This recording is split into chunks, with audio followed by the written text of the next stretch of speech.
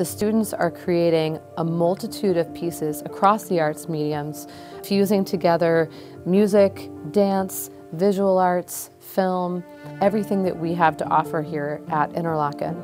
It's going to be really interesting to see in the coming months how the student work gets put together by the directors, how the thread is going to feel, what will happen when, at what time. I think we're going to show them what unexpected things could happen in an expected setting.